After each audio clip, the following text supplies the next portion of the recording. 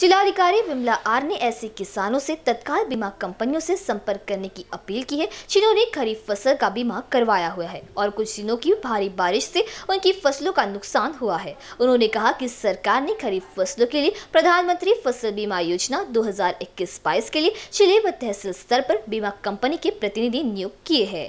इसके पूर्व बीमा कराने वाले किसानों का अतिवृष्टि से नुकसान हुआ है तो संबंधित कंपनी से किसान संपर्क करें। योजना के अंतर्गत फ़सल बीमा आवेदन करने की अंतिम तिथि 23 जुलाई तक थी। इस तिथि तक जिन लोगों ने आवेदन किया है, वे बहत्तर घंटों के भीतर बीमा कंपनी के पास अतिवृष्टि से नुकसान के लिए दावा करें। ज़िले में Reliance general insurance company limited, Mumbai प्रतिनिधित्व है।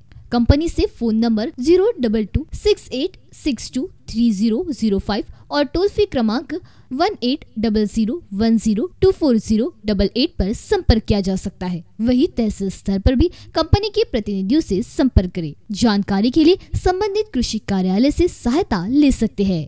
कैमरा पर्सन राजकुमार मोहड़ के साथ अभिषेक पांसे बी न्यूज़ नागपुर।